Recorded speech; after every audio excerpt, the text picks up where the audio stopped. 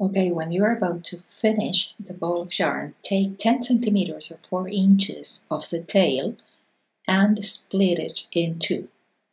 Now, cut one of the two pieces.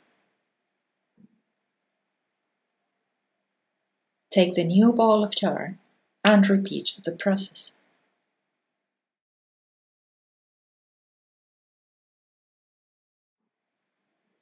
Make sure they uh, have more or less the same length. Now place them, both split yarns, in the palm of your hand.